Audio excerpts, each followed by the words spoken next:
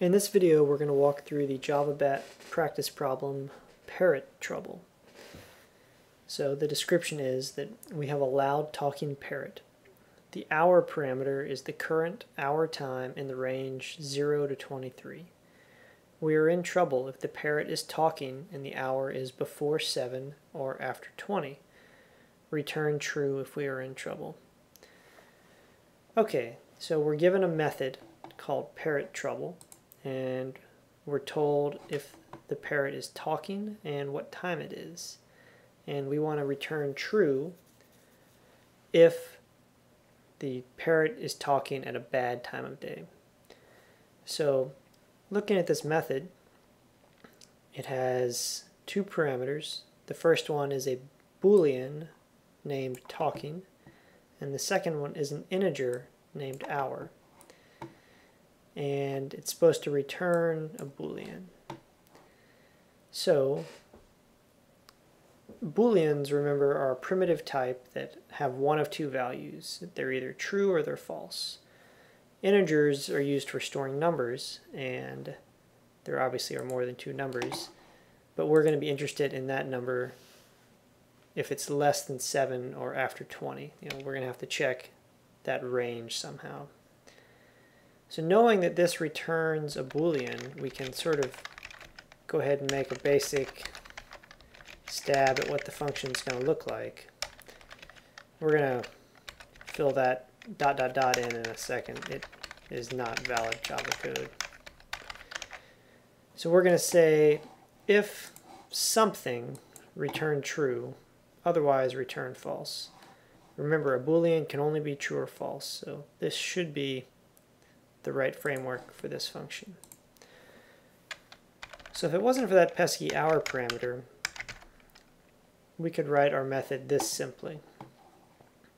If we ran that, we would pass a few of the tests, but we obviously failed two of them.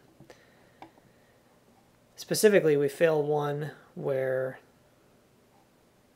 the hour was 7, and we returned false excuse me, we returned true, but JavaBat was expecting false.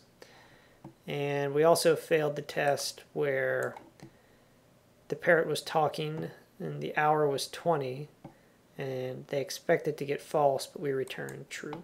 So that just means that we weren't looking at the hour parameter, so we need to do something about that. So we need to say if the parrot is talking and the hour is bad. So how do we express that? Well, there's two ways in which the hour can be bad. It can either be less than 7 or it can be greater than 20. And I'm going to walk through why we need these parentheses in just a moment. But let's go ahead and run this and see if it's correct. Okay, we got it.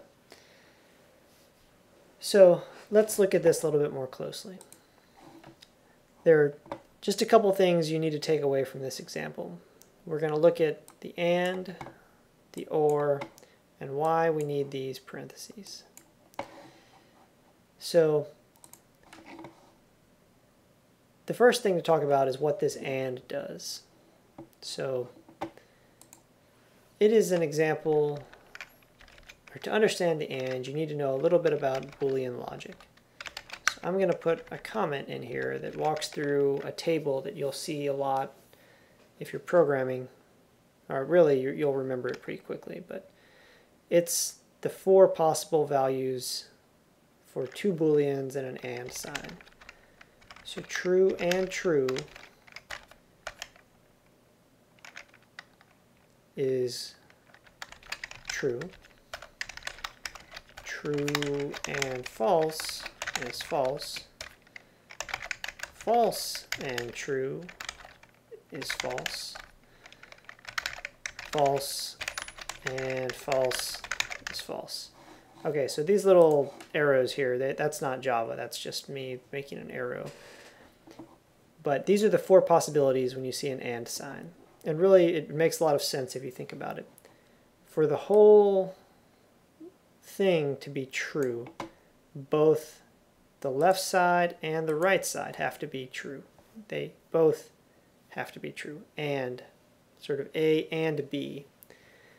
If either one of them is false, they aren't both true, and so the whole thing evaluates to false. So that's what this little AND guy does. The next thing to look at is this OR right here, the two vertical pipes. And let me make a table for it. So true or true is going to be true. True or false is going to be true. False or true is true. And only false or false is false. And again, this one makes sense because it's an OR. Uh, either or has to be true. If both of them are true, that's great. That's all the better. You know, it, it's true as well. But the only time an OR value is going to be false is if both of them are false. So that should make a little bit of sense. You know, if the hour is like 6 a.m., you know, hour less than 7 would be true, but hour greater than 20 would be false. But since it's an OR, the true and the false together, when they're combined with the OR, would be true. And so then it would just depend on whether or not the parrot was talking. So that's how the AND works, and that's how the OR works. Let me talk about these parentheses a little bit. One thing you need to understand about Java is that the AND naturally has a higher order of precedence than the OR. And what that just means is that if you had something like, well, let's just look at the example here. If I remove these parentheses and go, the tests start to fail. Because what happens in this case is the AND is stickier than the OR, and so it's almost like I have parentheses around here, where talking and hour less than 7, those two get considered first. And for example, you can see in this test where it just doesn't work out right. So for this one that fails, it was given false and 21 as the parameters. So talking would be false, hour less than 7 would be uh, false, but hour greater than 20 is true. And so because of the we have these parentheses in the wrong place right now, simulating what happens if we had no parentheses at all. And so false and false is false. So this whole thing right there becomes false. But false or true is true. And so we return true. So there's an order of precedence that when you have a few things together, for example, three, we basically have three terms in this if statement. We have talking hour less than 7 and hour greater than 20. Order of precedence is what determines which two get paired up first. And the important thing to remember is that the AND is stickier than the OR, and so we have to use parentheses to force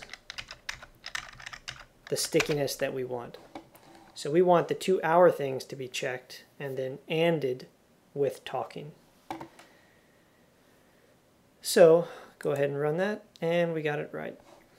And one last thing is we don't actually need this complicated structure.